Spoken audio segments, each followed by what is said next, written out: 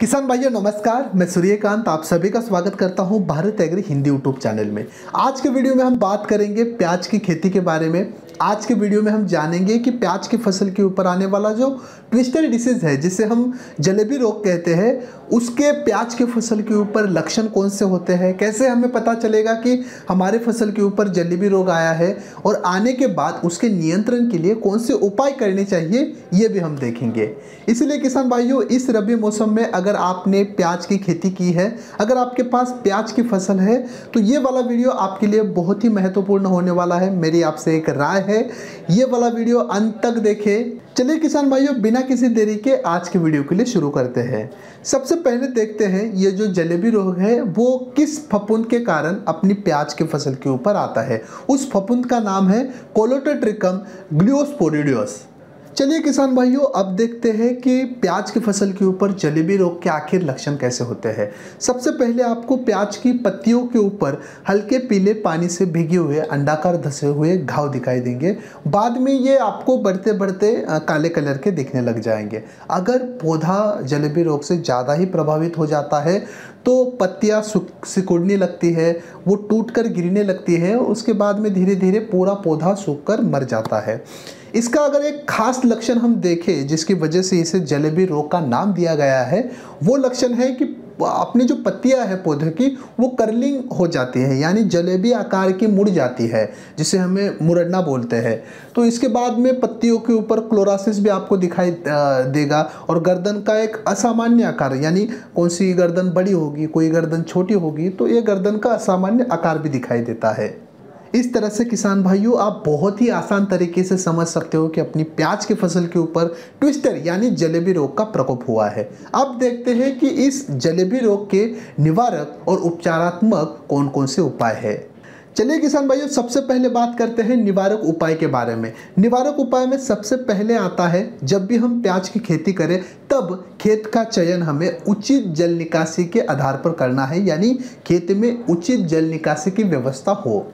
खेती करते समय हमें बार बार फ़सल चक्र को अपनाना है, यानी बार बार सेम खेत में, यानी उसी खेत में हमें प्याज की खेती हर बार नहीं करनी है। एक बार अगर आपने प्याज की खेती की है तो अगले दो मौसम में आपको दूसरी फ़सल लगानी है। इसी को कहते हैं फ़सल चक्र अपनाना। इसके बाद आपको जल भराव की जो समस्या आती है, उससे बचना है। हमेशा ध्यान रखना है कि अपने खेत में पानी जमा ना हो, उसको जल निकासी करके हमें निकाल देना है। निवारक उपाय में और एक बात हमें ध्यान में रखनी है, जब भी हम प्याज की खेती करें, वो नर्सरी हो या फिर प्लांटेशन हो, उस समय किसान भाइयों, आपको उठी हुई कैरियों का इस्तेमाल करना है या फिर बड़े बेड़ का इस्तेमाल करना है। इससे होगा क्या? प्याज की खेती में अगर पानी जमा होता है तो उसका डायरेक्ट इम्पैक्ट, असर आपकी प्याज की खेती पर नहीं होगा और आपकी प्याज की फ़सल, यानी प्याज के पौधे, उस पानी से थोड़ी देर के लिए बच जाएँगे। किसान भाइयों, ये थे कुछ निवारक उपाय। अब बात करते हैं उपचारात्मक उपाय के बारे में। मान लीजिए कि आपकी प्याज की फ़सल के ऊपर जलेबी रोग का प्रकोप हो चुका है और बहुत ज़्यादा मात्रा में है। अभी आपको ज़रूरत है छिड़काव के छिड़काव की। तो कौन से छिड़काव हम प्याज की फ़सल के ऊपर कर सकते हैं? सबसे पहले इंडोफिल का एम पैंतालीस आता है। बहुत ही अच्छा कवकनाशी है। वो आप 500 ग्राम प्रति 200 लीटर पानी में मिलाकर एक एकड़ प्याज के फ़सल के ऊपर छिड़काव के लिए इस्तेमाल कर सकते हो। इसमें अगर हम दूसरा कवकनाशी देखें तो वो है अवतार, जिसमें आपको 400 ग्राम अवतार लेना है 200 लीटर पानी मिलाना है और एक एकड़ प्याज की फ़सल के ऊपर इसका छिड़काव करना है।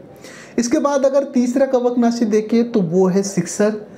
ये भी बहुत ही अच्छा कवकनाशी है, जिसको आपको लगभग 300 से 400 ग्राम लेना है प्रति 200 लीटर पानी मिलाना है और एक एकड़ प्याज की फ़सल के ऊपर इसका छिड़काव करना है।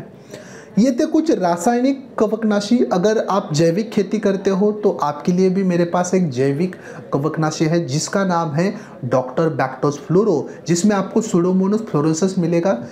उसका आपको क्या करना है, लगभग एक लीटर पर दो सौ लीटर पानी मिलाकर अपनी एक एकड़ प्याज की फ़सल के ऊपर इसका छिड़काव करना है। किसान भाइयों, ऐसे अगर आप अपनी प्याज की फ़सल का प्रबंधन करते हो तो बहुत ही कम खर्चे में आप अपनी प्याज की फ़सल के ऊपर आने वाला जो ट्विस्टर डिसीज़ है, यानी जिसे हम जलेबी रोग कहते हैं, उसको आप नियंत्रित कर सकते हो। चलिए किसान भाइयों, जानकारी यह वीडियो यही समाप्त होता है।